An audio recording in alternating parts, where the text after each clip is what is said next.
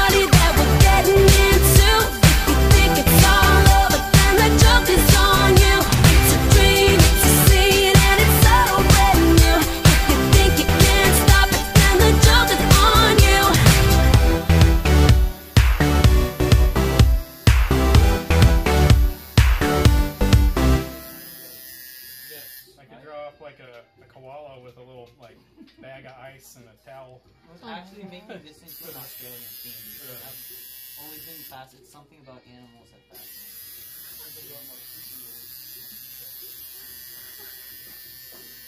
I've always wanted to get a kangaroo because it's something most people wouldn't get. Most of the time you see people with lions or tigers, and I, I almost got a uh, a kangaroo when I was in Melbourne, Florida, because I thought it would be funny to get that because I was. in Melbourne.